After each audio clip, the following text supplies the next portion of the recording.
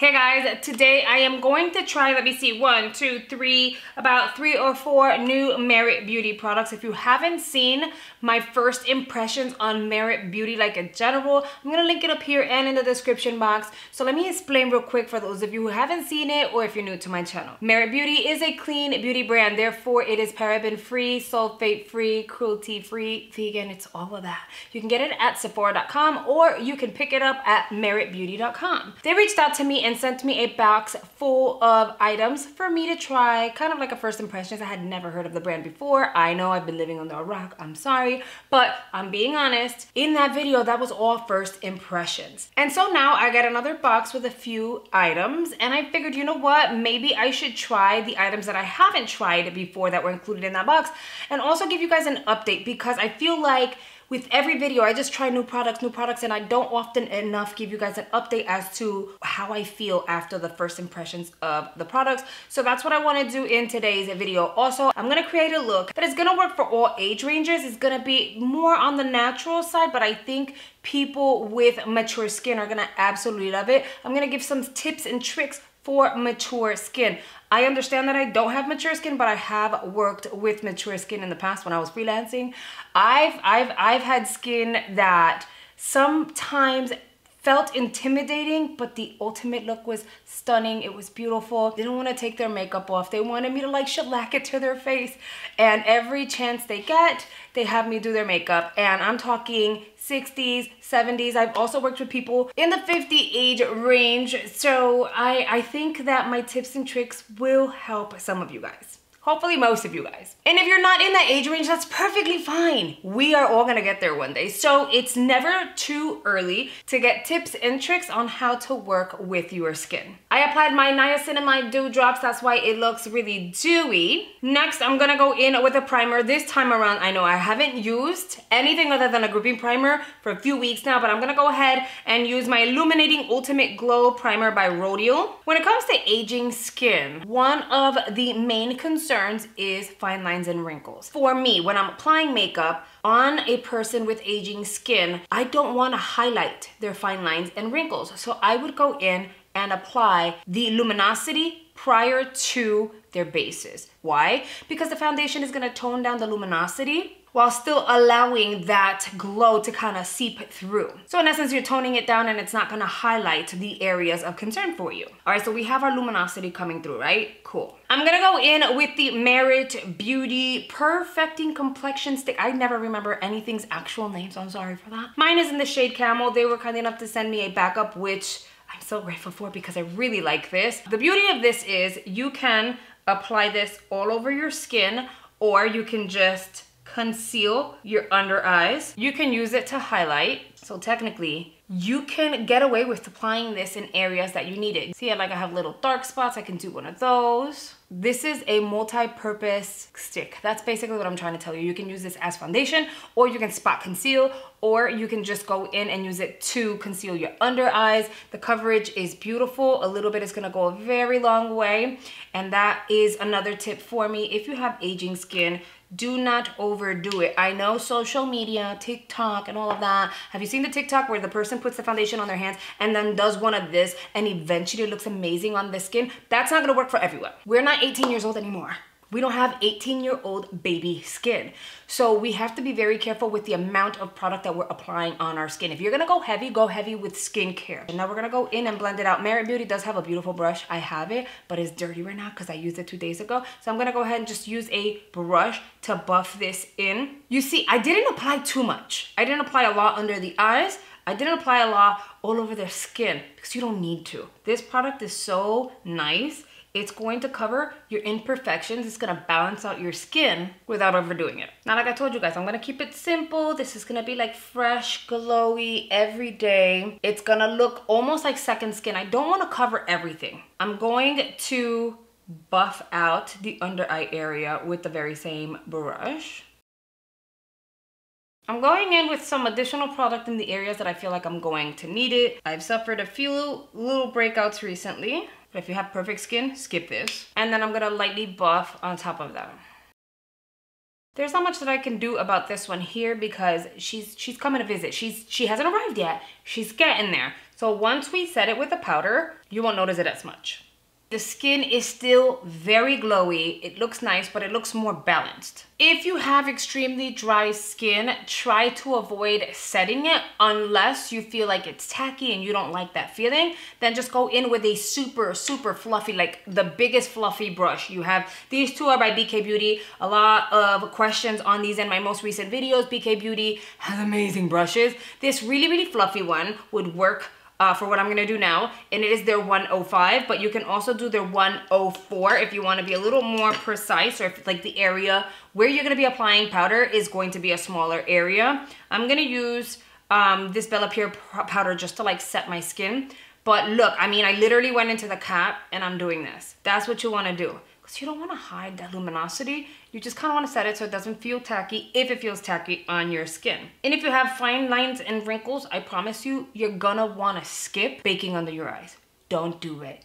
Don't. It tends to look crepey and weird and eventually it's going to settle and then it's gonna look cakey and you're not gonna like it. Baking will also highlight the under eye area. It's gonna make it a lot brighter, which if you wanna look super awake and you're gonna pull your hair back and you, you can get away with like stretching out the little fine lines and wrinkles, great. If you like that look, that's perfectly fine.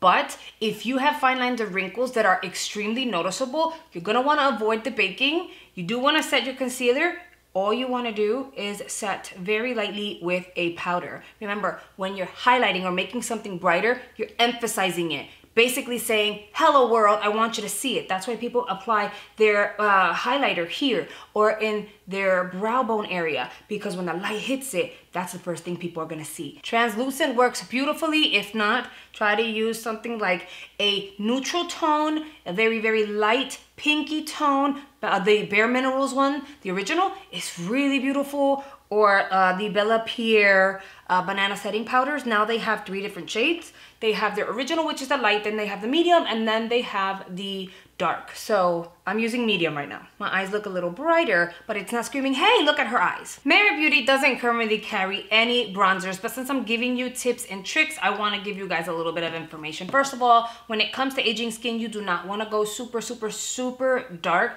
You wanna go maybe two to three shades darker than your skin tone because you want it to look really natural. So I'm just going in with a powder that I have. I'm going super light-handed. I can definitely like make this a lot darker. I start off on at the back, like closer to my hairline, and then I blend it forward.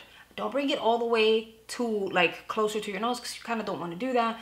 You want this to seem as natural as it possibly can. So instead of buffing back and forth, I just tap the product so it can lay and then I just kind of go back and forth like this and finesse it a little bit. And the reason why you don't want to go back and forth is remember you're not overdoing the powder on your skin. So you want to build additional products on top of it without making it look kind of smudgy. By the way, I say this all the time, so I love that their box has the motto, less is more. Sometimes when you overdo it, it just, it gets out of hand. At least that's my opinion on it. It could be personal preference, I don't know. But like for me, and I do social media, like clearly I'm all over the internet. The extra full face super drama is really just for social media. Like that's not an everyday thing. I don't know anyone that literally puts that much makeup just to chill at home or like to do lunch or anything like that. That's why I try to stick to doing more wearable looks for you guys. I'm gonna start filling in my brows. I'm gonna keep this simple. Y'all already know. Now their brow pomade I have tried and it's really nice. It allows you to really comb through your brows build them up and make them look really full and sculpted without a lot of effort, which I like. Their applicator looks like this. It's like your basic applicator. And if you have thin brows like I do, you can totally just use the tip of it because there's definitely product on that. I mean, look at the difference. My brows still look like they're mine. They just look a little more on the perfect side. This is their cream blush in Beverly Hills. They sent it back up. Thank you so much. I'm gonna grab that, add a little flush. Now, when you're using cream products, try your best to focus those out here. If they do not set, you do not wanna bring them all the way to the inner portion of your eye because it eventually creases. You can definitely go in with a little bit of translucent setting powder to set it. Say that you're in the car and you totally forgot any eyeshadow and you have a lipstick, you can do that. Just apply it on the outer portion of the eyes. Will it crease? Yes. But when it creases on the outer portions, you don't see it as much as you will see it on the inner portion. So that's a little tip when you're in a little bit of a bind. And then I'm gonna take that brush that had that setting powder, no additional powder. I'm just gonna tap that right on top. So any product that's still left in the brush kind of set my eyes for me. I'm going to use their mascara, which I've tried already and I really like it. This is their Lengthening Mascara in Perfect Black. Formula's nice, but I like that this is the kind of applicator that we're used to. I am going to back comb. Now here's a mascara tip. I like to saturate the lashes completely from beginning to end with the first coat. Once the coat is somewhat dried, I will go back in and only apply mascara on the outer corner of the lash to extend it and create a flare that'll allow the eye to look a little more lifted versus focusing on making sure that they're just all fluffed out. Fluff them towards the outer corner and it'll kind of make your eyes look like this. Almost like a mini eye lift I don't know if you guys can see it, but they're like flared out this way a little bit. And yeah, you can go in with a third coat if you wanted to. I tend to stick to the two. I am gonna do the same thing, but I'm not gonna apply mascara all the way to the beginning of the eye. You want your eyes to look as big as possible. Unfortunately, as we get older, our eyes tend to look smaller and smaller.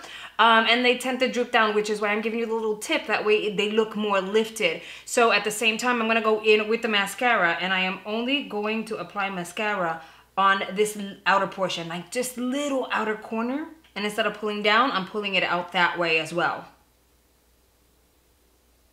Do you notice the difference? First of all, my lashes are like down this way and there's no definition. This eye definitely looks a lot more lifted and more like, I don't like more um vibrant, just full of life. You want to emphasize your cheekbones without having them scream out, look at me, look at me. So what do we do? We're gonna go in with a brush and we're gonna gently begin back here, bring it up. Again, you want your skin and your face to look more lifted and youthful. So you're gonna start back here because you want most of the product to kind of concentrate it here and then just bring a light flush to your cheekbones. Now I advise using cream products for aging skin solely because your skin will still look luminous, your skin will look hydrated and healthy. And that's what we're all seeking for. The moment you start popping powders everywhere, it's gonna look drier than if you had no makeup on. And that's unfortunate. I think that we're all beautiful regardless of our age. You can definitely do every single makeup look I'm doing. You just have to execute it in a different way. There's definitely a process for that. So as you see, look, it still looks natural. I look flushed. Here's the difference. And there's just something about makeup that looks like this. It makes you feel better. They sent over two highlighters. I have not tried these before. We have Cava and Bounce. So let me show you what Bounce, oh, here's Bounce. Here's Cava.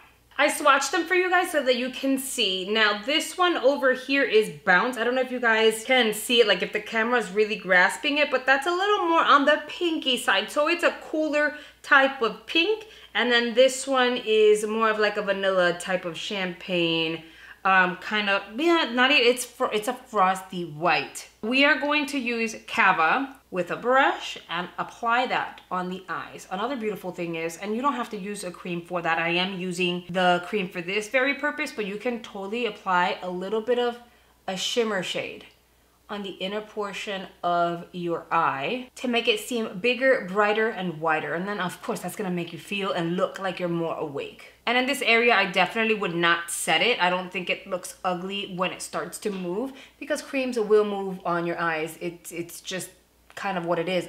You can go in with a primer and it'll definitely make a difference and slow down the creasing process.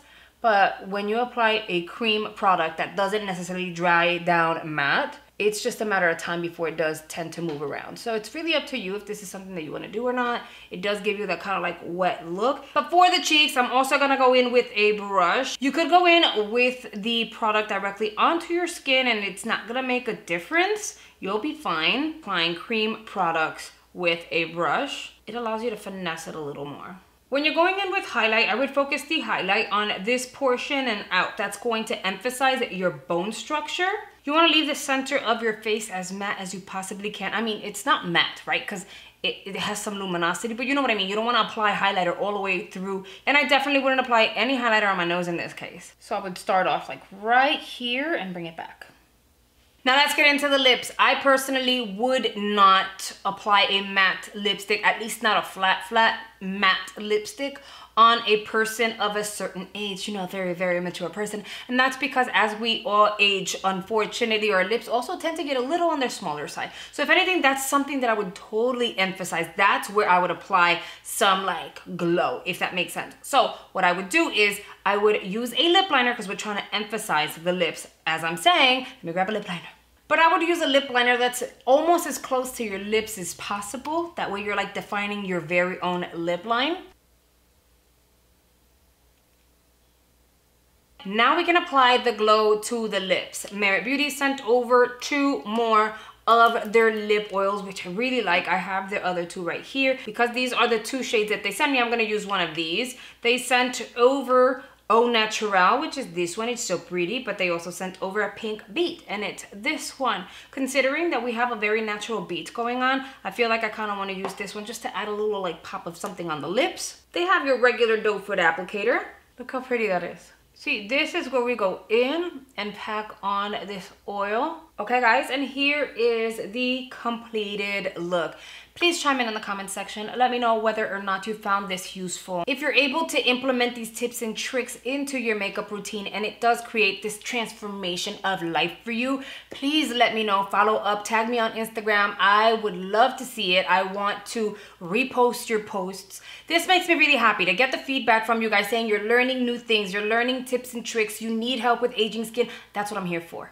I love showing you guys what you can do and all the possibilities that there are with makeup. Okay guys, I really hope you guys have enjoyed this video. If you did, make sure you hit the thumbs up button for me. I'd really appreciate that. And it helps my channel and also lets me know that you guys are enjoying these videos as you've been enjoying the other ones. So thank you, thank you, thank you. And I'll see you guys on the next one. Bye guys.